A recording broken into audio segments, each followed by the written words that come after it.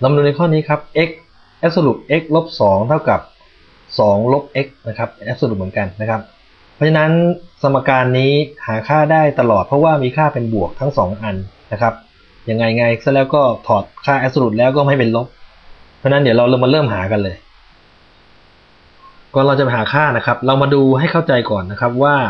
x ลบ2 absolute x ลบ2เนี่ยนะครับ เราจะหาค่า x ได้ก็ต่อเมื่ออะไรครับ ก็ต่อเมื่อ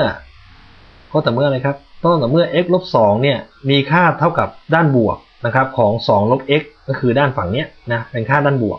กับอีกข้างหนึ่งก็คือเป็นค่าด้านลบนะครับ เดี๋ยวเรามาดูค่าด้านบวกก่อนแล้วกันนะครับ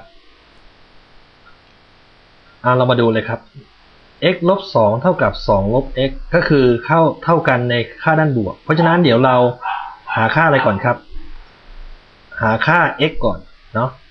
หาค่า x โดย โดยเดี๋ยวเราจะกำจัดลบ2ตัวนี้ออกไปนะครับกำจัดลบ2โดยอะไรครับ โดยใส่บวก 2 ทั้งสองด้านนะนะเราใส่บวก 2 เนี่ยไว้ทั้งสองด้านเลย บวก 2 ทั้งสองด้านนะตัดกัน เพราะฉะนั้นตอนนี้เหลืออะไรครับ เหลือ x เท่ากับ เท่ากับเท่าไหร่ครับ2บวก 2 เป็น 4 4ลบ x นะครับนะเกิดอะไรขึ้นตอนนี้นะ4ลบ x เพราะฉะนั้นตอนนี้เรา จะหาค่า x เรากำจัด x อีกตัวดีไหมนะเรากำจัด x อีกหนึ่งตัวนะครับ โดยบวก x ทั้งสองด้านนะจะได้หมดบวก x ทั้งสองด้านนะ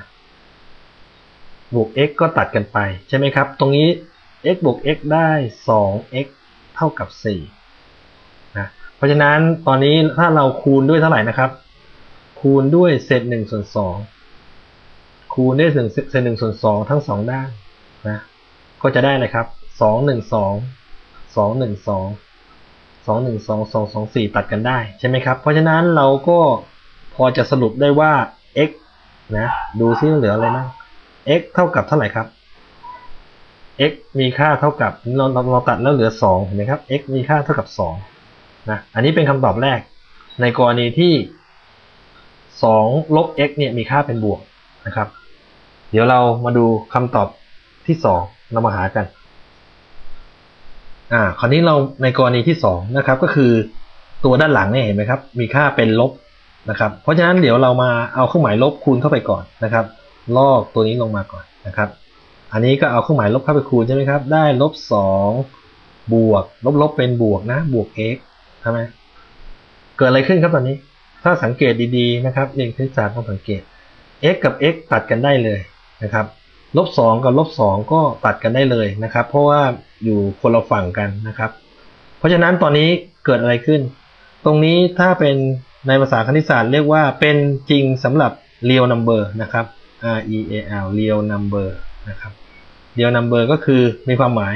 all real number ก็คือเป็นจริงสำหรับจำนวนจริงทุกจำนวนนะครับ สมการนี้นะครับ เป็นจริงสำหรับจำนวนจริงทุกจำนวนนะครับ ก็เป็นคำตอบตอบตัวนี้ไปเลยนะครับ ว่าเป็น all real number